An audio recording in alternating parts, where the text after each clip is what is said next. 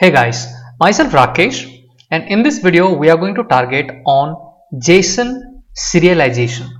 Is there an activity to serialize JSON in UiPath? If not, then how this can be done? Do I need to import a class, for example newtonsoft.json and do it?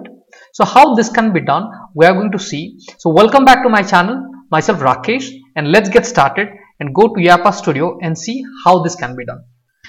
Before we try to understand JSON serialization, we need to understand what is it. For example, here if I ask you to convert dictionary to a JSON string, you have to convert a dictionary which is a object, right? Which is a .NET object. So from the dictionary, I would like to convert it to a JSON string. So for that, I will be using serialization. So how this can be done let's see very quickly. So first thing uh, let's the very first thing what we have to do yes we have to import a class called newtonsoft.json just type it here newtonsoft.json and you would find it and hit on enter. Okay? That's all. So newton soft.json just select it and it will be getting added into the list. That's all we are fine now let's go back to our main window and understand how to do the JSON serialization. For this, the very first thing I need is to create a dictionary variable. Okay, so I'm going to use a assign activity, and in the assign activity, let me try to create a dictionary variable first. So I will say dict1 or dictionary 1 and let's change the uh, data type of this to uh, system.collection so that you can find from browse for types so let me type dictionary. Okay. And here you have system dot collection dot generic and i'm going to select string and keep the other thing also a string and hit on. Okay. Done. All right. Now here i need to create a dictionary for that. I will go to the properties of this activity and write it. So how do you initiate a dictionary? You will have to simply write new dictionary of of string comma string. Okay string comma string. And I will say from and write the values. Let's say here we will take a very simple example. So I'm going to say um, let's say I'm going to say name. Okay the first one the key is name name and comma. The second value is um, let's say name comma let's say Rakesh. Okay? And then let me add another key and value pair. And here I am going to say ID comma let's say 100 okay? So like that there are two different values. Name Rakesh ID 100 so this is a dictionary now. Okay? From dictionary how can I convert that to a JSON string we are going to see in this video? So I'm going to hit on OK all right so this is done. Now the next activity that I, I will use is assign activity. And here in the assign activity first of all let's focus on the expression that is required. For that I'll go to the property panel. And here what I have to do because I am using the class Newton soft dot json okay? I'm taking the class name or the namespace dot and then I'm going to say JSON convert. I want to convert, right? Convert the dictionary to, so I will say JSON convert. And here I would like to serialize. So anytime you are converting a .NET object, I mean dictionary, data table and into a JSON format. So that time I'll be using serialize.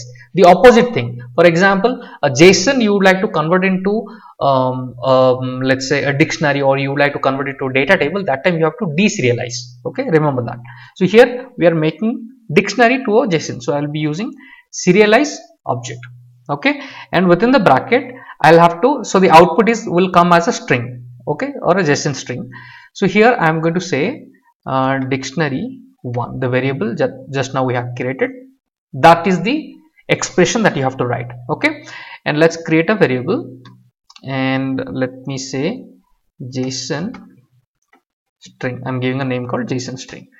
Okay now let's see. This is uh, the variable type is a simple string. Okay json is again a string only right? So it's a string data. So it will convert into a json format. Now let's see how this one is appearing. Message box. So let's understand the difference how it was appearing when it was in a dictionary format and how it is appearing in when it converted to a json string. Okay so i'm going to say dictionary variable and here i'm going to say um, json string variable. Okay so let's see the output first okay? Let me debug. So understand everything in detail. So you should have a complete uh, visualization of what is serial you know what do you mean by serialization what do you mean by deserialization? This should be very clear. So now what is happening the first message box is simply saying uh, system dot collection uh, because it's entirely a dictionary. Now to to see a dictionary i have to write dictionary dot key use a for each loop and all that. Okay so you understood this is the entire dictionary. Now here through the expression it got converted to a json string. Now you can see the json json will start from a curly braces. Now you can see it has started having a curly braces name rakesh com id okay so this is a json string. Now let's say from json string right? I would like to see that in a proper json object format you know json it will be there in a proper format. If i have to do that okay now to do that let me use another activity deserialize. So anytime you have to convert a json string to a json object you will be using a deserialize okay and from here I can convert it to a, data table. I can convert it back to dictionary. Anything you would like to do you can all these things can be done. I have I have all these videos. Okay so here uh, all I am going to pass is the JSON string. And let's write the output. Uh, let's create a variable. Let's say JSON object. Okay the variable has been created now let's see how this JSON object is coming.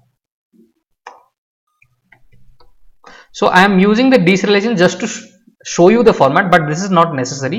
Once it is converted to json string let's say you would like to update the data into a website all this can be just the json string can be passed. So it will do. Just to show you in the right format i'm doing it okay? Otherwise this is not required. Let me run it. Let's see. Now look at the format how this is going to change into a proper format now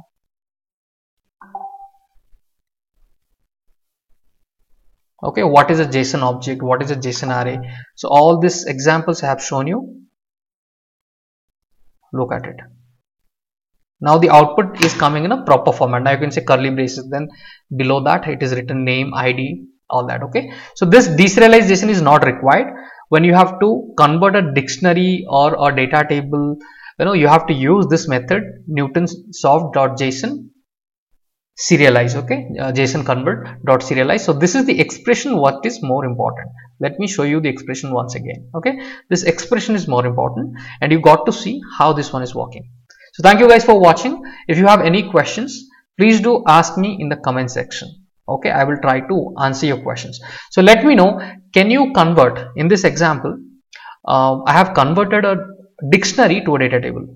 Will you be able to convert there is a question for you. Will you be able to convert uh, a data table into a json string? You know using a similar format. So try this out and let me know. If somebody is able to do it simply say yes you are able to convert it. If not i will try to create a content. Okay? So let me know if you have any questions. Please ask your questions in the comment section. I will try to reply to that. Thank you guys. We are going to meet once again in the next content. Bye bye